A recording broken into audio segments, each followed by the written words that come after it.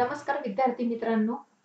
मागच्या व्हिडिओमध्ये आपण प्रकरण क्रमांक तीन अ मागणीचे विश्लेषण या प्रकरणातील मागणी निर्धारित करणारे जे घटक आहेत अशा जवळजवळ अकरा घटकांचा अभ्यास आपण मागच्या व्हिडिओमध्ये केला. आजच्या व्हिडिओमध्ये आपल्याला मागणीचे विश्लेषण याच प्रकरणातील मागणीचा नियम या घटकाचा अभ्यास करायचा आहे. या अगोदर आपल्याला मागणी म्हणजे काय याची व्याख्या बेनहॅम यांनी जी सांगितलेली व्याख्या आहे ती पाहिजे आहे. विशिष्ट वेळी विशिष्ट किमतीला विशिष्ट वस्तूंची खरेदी केलेली नगसंख्या म्हणजेच काय? तर मागणी. विशिष्ट वेळी विशिष्ट किमतीला विशिष्ट वस्तूंची खरेदी केलेली नगसंख्या म्हणजे मागणी. मग ह्या जो मागणीचा नियम आहे हा मागणीचा नियम कोणी मांडला? किती साली मांडला. आणि तो कशा पद्धतीने मांडलेला आहे हेच आपल्याला मागणीच्या नियमामध्ये अभ्यासायचं आहे. मागणीचा नियम किती साली कोणी आणि त्या ठिकाणी कशामध्ये मांडलेला आहे हेच आपल्याला पाहायचं आहे. आ या व्हिडिओमध्ये आपण पाहतोय मागणीचा नियम. सन अठराशे नव्वदमध्ये प्रकाशित झालेल्या अर्थशास्त्राची मूल तत्वे अठराशे नव्वदमध्ये आपण घटत्या सीमांत उपयोगितेच्या सिद्धांतामध्ये पाहिलं की अठराशे नव्वदमध्ये अर्थशास्त्राची मूल तत्वे हा अल्फ्रेड मार्शल यांचा जो ग्रंथ आहे तो प्रकाशित झाला आणि त्यामध्ये त्यांनी काय केलेलं आहे? तर हा मागणीचा नियम मांडलेला आहे. आपण मागणीच्या नियमाची थोडक्यात प्रस्तावना पाहतोय.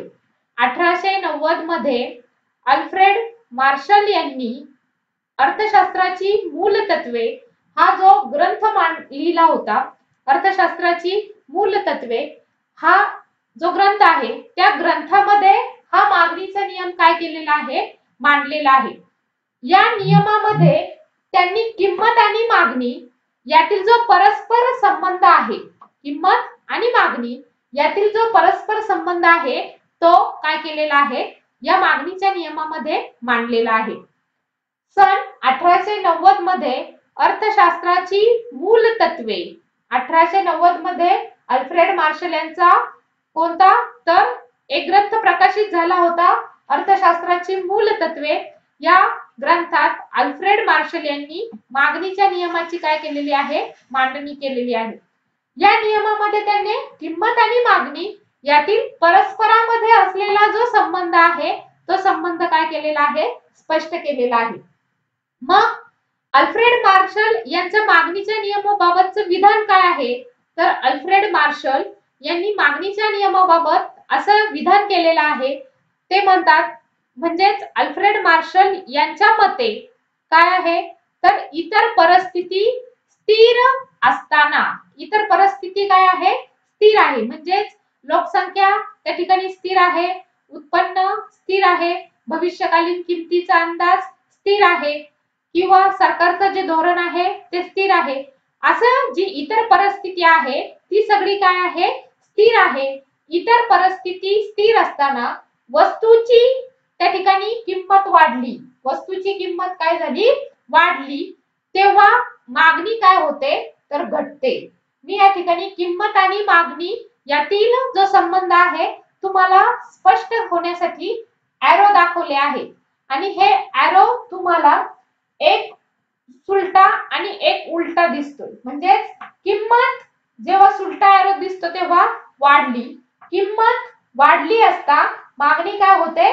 कमी होते. आणि किंमत कमी झाली असता मागणी काय होते? वाढते.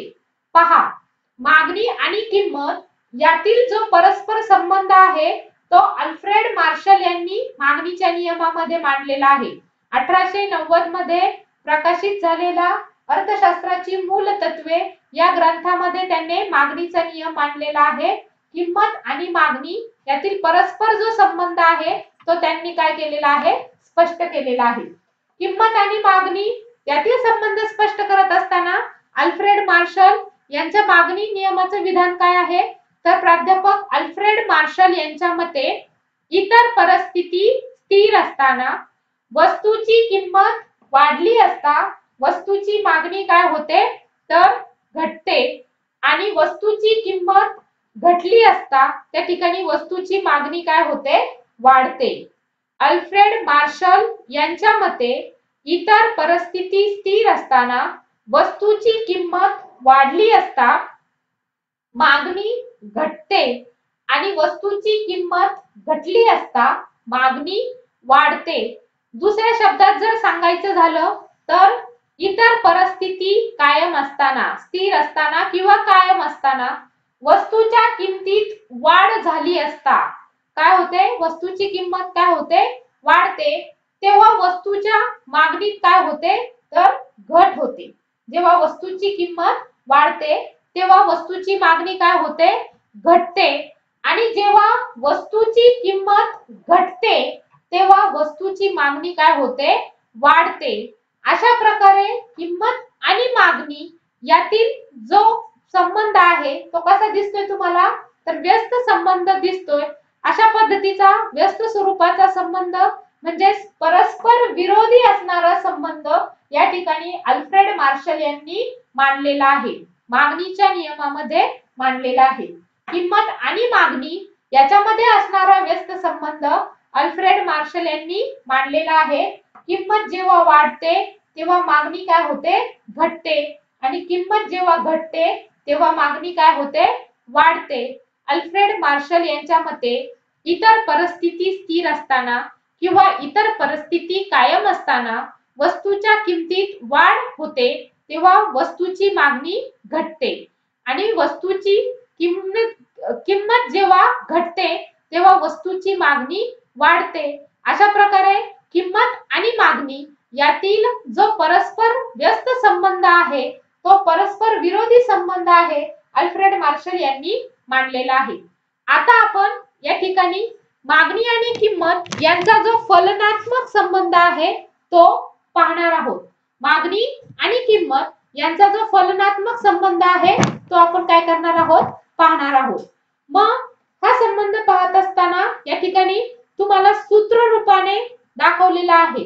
डी एक्स बरोबर एफ कंसात पी एक्स कंस पूर्ण. हा संबंध किंमत आणि मागणी यातील जो फलनात्मक संबंध आहे तो काय केलेला आहे? दाखवलेला आहे.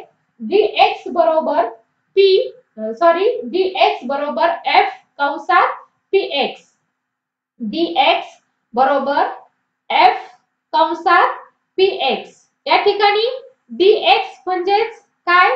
तर डी म्हणजे काय? डिमांड म्हणजेच काय? मागणी.